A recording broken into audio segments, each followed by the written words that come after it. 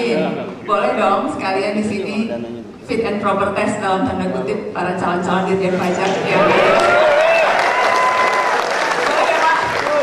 sekalian, bukan fit and proper test sih, pengenalan. Mumpung topiknya, tadi kan soalnya kan sudah ditantang oleh Pak Menteri kan, saya sampai mencatat tuh, calon dirjen pajak harus menjadi contoh, harus menjadi orang yang terdepan untuk uh, bisa membangkitkan moral, semangat uh, seluruh pegawai Direktorat Jenderal Pajak untuk anti korupsi. Boleh saya minta um, para dirjen pajak kalau ada yang mau bicara, pertanyaannya mungkin simpel. Tadi sudah bercerita soal godaan terbesar wali kota, pemimpin daerah. Bagaimana kalau calon dirjen pajak juga cerita apa kira-kira godaan terbesar yang sehari-hari uh, dihadapi, sedang dihadapi atau mungkin akan dihadapi oleh teman-teman uh, seluruh pegawai Direktorat Jenderal Pajak dan kemudian mari sama-sama kita mencari alternatif solusi untuk mengatasi godaan itu. Boleh saya minta, tadi katanya ada enam orang ya Pak yang hadir. Kalau ada yang mau uh, menyumbang pandangan sebelum saya turun ke bawah dan menyodorkan mic ala-ala Nodong Johan Budi. Kalau Nodong Johan Budi itu harus gitu. Mas Wahyu silakan, silakan Pak Wahyu. Saya turun ya. Nah, sebenarnya jujur saja, ini yang meminta saya itu sesdijen. itu, jadi kalau bukan sesdijen saya ngomong. Tapi begini, uh, saya kira tadi Pak Bima menyatakan hal yang sama. Kami ini kan tersebar dari Sabang sampai Merauke. Kemudian kondisi dari Sabang sampai Merauke itu sebenarnya membuat mau tidak mau organisasi harus menyebar pegawai, menugaskan pegawainya. Origin mereka berbeda-beda.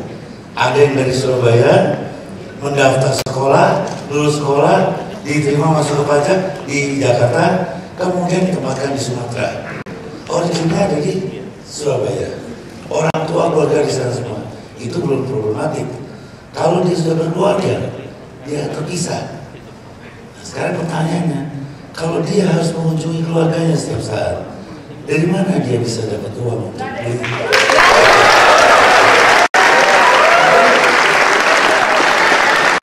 Itu mendasar, mendasar dan realistis, bukan sesuatu yang diadakan. Oh jadi nggak dikasih uang untuk pulang itu SD? tidak, tidak. Oh. Saya tapi tidak. Ya. Saya memberi contoh. Satu saat saya menjadi kepala kantor Aha. dan saya harus jadi pelanggar aturan sebenarnya. Saya menjadi kepala kantor. Di kantor saya itu ketika kami baru modernisasi, kita mulai memperkenalkan fingerprint. Nah, ketika saya meneliti fingerprint, itu sangat rapi. Itu bisa per 30 detik orang absen fingerprint. Jadi saya pikir berarti pagi-pagi itu karyawan kami ngantri di depan mesin fingerprint sampai bisa begitu tertata rapi 30 dan 30 detik. Tapi ternyata Saya tanya, ini bagaimana ceritanya? Menurut saya tidak mungkin. Besok saya mau tes. Dan memang tidak demikian. Data kan scattered, tapi fingerprintnya rata. kayak DPR ya Pak? Ketika saya interview, kasih umum saya, dia cerita, Pak kami mengambil jalan ini. Karena teman-teman ada di rumah jauh, di Tangerang, ada yang di Bekasi, ada yang di Kerawang, Depok. Kalau mereka terlambat setiap hari, ketika itu dipotong satu setengah persen atau dua setengah persen, dua setengah persen ketika itu baru diperkenalkan. Yang kira-kira berapa tuh nominal? Mau nominal mungkin tidak besar. Gaji mereka waktu itu rata-rata untuk yang entry sekitar 5 juta. Yang sudah agak senior bisa 6 juta, 7 setengah juta. Kalau Bapak berapa? Ketika itu saya, ketika itu saya 15 juta. Oh lumayan. Ya lumayan. Nah, yang terjadi apa? Saya bilang ini berat sekali. Oke. Karena kalau mereka terlambat selama 25 hari kerja, sudah habis tunjangannya. Sampai-sampai ada yang tidur di masjid. Jadi kompleks kompleks kantor kami ada masjid. Yang tidur masjid. Saya tanya kenapa kamu tidur? di masjid?" Pak, kalau saya kos 2 juta setengah buat kos saya. Istri di rumah harus saya tinggalin uang juga. Kalau saya tinggal di rumah terlambat terus habis uang saya. Jadi saya di sana. Akhirnya yang saya lakukan apa? Ya sudah kalau gitu kita bikin absen 8.30 sampai jam 6 kamu pulang. Itu saya melanggar aturan. Karena kalau tidak, mereka akan tergerus uangnya karena itu. Dari mana mereka akan ambil uang kalau bukan dari wajib pajak? Saya pikir nggak bisa. Apalagi, apalagi kira-kira godaan terbesar yang akan dihadapi. Assalamualaikum warahmatullahi wabarakatuh. Nanti saya minta para narasumber untuk memberi uh, masukan alternatif solusi. Saya Muhammad Hanif. Saya ini sebagai kepala kantor Kanwil DJP Banten. Jadi area sebenarnya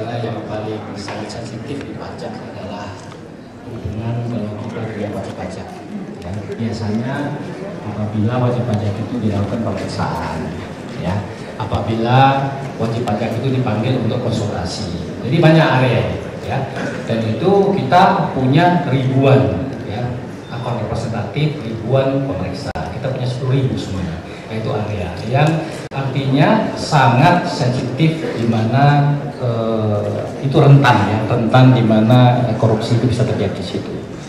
Ya, artinya siapa yang mau bayar pajak? Ya, apalagi kalau kita sudah menyentuh orang pribadi, ya. Nah, orang pribadi di Indonesia ini semua gelap. Ya, kenapa? Karena kan rekening bank ini kan belum terbuka untuk DJP. Kecuali rekening bank sudah terbuka untuk DJP. Mungkin banyak orang pribadi yang terdeteksi uh, tidak melakukan pembayaran pajak. Ya. Jadi sebenarnya yang paling uh, rentan di kita ini adalah di area-area di mana dia bisa berhubungan dengan wajib pajak itu. Jadi negosiasi transaksi Ya, biasanya itu udah ketika pasti. berhubungan dengan individu. Udah pasti. Ya, karena Dan kalau itu- kata Pak Mary Muhammad hanya orang gila yang cinta pajak.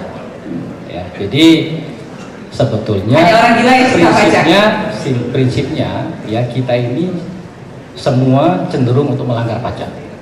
Ya, mungkin kalau kita uh, berkaca pada diri kita sendiri kita baru tahu bahwa kita sendiri juga pelanggar pajak sebenarnya. Ya, mungkin kalau Mbak Najwa hitung penghasilan setahun ya yang komisi komisi itu ya. Ini jadi mungkin Mbak Najwa ya, terus lihat SPT Mbak Najwa dilihat sendiri Ya. ya berkaca sendiri. Mungkin kita juga merasakan oh iya saya juga pelanggar pajak. Mungkin ya Pak Najwa saya bukan menuduh. Tapi artinya setiap uh, diri kita ya itu cenderung kita ini untuk melakukan evasion lah ya artinya uh, avoidance ya tentang untuk pembayaran pajak ya, Jadi hanya orang gila yang cinta pajak. ya cinta pajak. Yang mau jadi dirjen pajak orang gila juga bukan? ya harus Lebih gila lagi. juga dia harus gila juga Harus siap untuk gila. Baik, saya tepuk tangan dong Pak. Assalamualaikum warahmatullahi wabarakatuh. Waalaikumsalam. Perkenalkan Mbak, nama saya Puspita dan saya sangat-sangat menggemari acara Mbak Najwa. Jadi kalau pulang kantor kalau ada Mbak Najwa, saya buru-buru Mbak. Waduh, mudah-mudahan diangkat ya. Saya doakan. Eh, Bapak-bapak pimpinan yang terhormat, Bapak Ibu senior dan rekan-rekan yang saya banggakan dan saya muliakan. Jadi saya sangat sependapat tadi yang dengan disampaikan oleh Bapak Komarudin ya. Pada dasarnya itu kembali ke diri dulu. Mindset pola pikir eh, itu saya menggarisbawahi bahwa pemimpin itu harus menjadi role model. Jadi nomor satu harus dicontohkan pemimpinnya dulu, kemudian pemimpin-pemimpin di bawahnya. Kemudian kita bicara sebagai eh, eh, eksistensi kita sebagai manusia ya. Kembali lagi, hidup ini cuma sekali. Eh, saya selalu membawa arahnya ke sana. Terus apa sih yang akan kita bawa dari hidup ini untuk kehidupan kekal itu satu.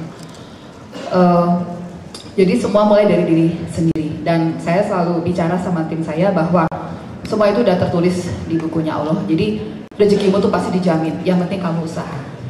Nah, masalah eh, kontribusi dari organisasi itu juga harus dari saya setuju juga dengan Pak Wahyu bahwa tadi Mas Arya Bima bilang dari kebutuhan ya Mbak. Ketika kemudian pegawai pegawai itu terpisah, jadi mereka membi- membiayakan tuh jadi dua eh, rumah tangga ya. Dan ini perhatian untuk organisasi tentunya misalkan rumah dinas yang layak. Kemudian eh, mereka kalau nggak salah dapat uang pindah ya Mbak ya. Tapi kemudian untuk dailynya seperti apa? Karena setahu saya di beberapa daerah itu kontrak sewanya tuh mahal Mbak. Bahkan per bulan tuh bisa 5 juta, 8 juta di beberapa daerah eh, itu. Nah itu bagaimana jaminan dari organisasi ya. Eh, Oke, sekarang kalau organisasi belum optimal, akhirnya kembali kepada sistem. Terus terang di, di saya, saya memimpin sekretariat komite pas pajakan. Saya menyuburkan kooperasi, Mbak.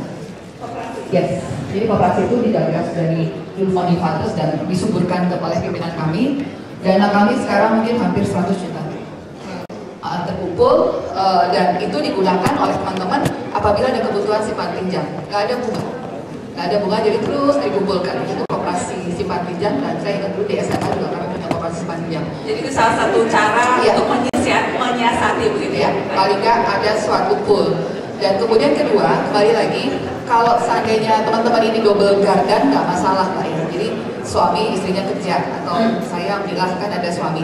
Tapi ketika kemudian ini single gardan, saya selalu eh, menyuburkan kepada teman-teman ini cobalah usaha. Oke. Alhamdulillah saya muslim, Nabi Muhammad itu menyuburkan dagang. Hmm. Kalau istri kamu daripada bengong di rumah, buka warung, buka apa? Boleh ya di, di kalau pegawai pajak boleh double Ada job? ya? batasannya. Oh, ada oke. batasannya ini kan istri ya. Kalau salah soal tiga ke bawah masih. Karena di Ya, nggak boleh double job kecuali top ini bukan pegawai pajak moderator tapi- pajak ya tapi sisi ada kan. Jadi uh, eh, istrinya uh, eh, disuburkan itu benar uh, eh, halal dagang tanpa kemudian uh, konflik interest. Jadi sekali lagi dari diri sendiri kemudian organisasi harus uh, mendukung dan sebagai pimpinan harus aware terhadap hal itu. Terima kasih.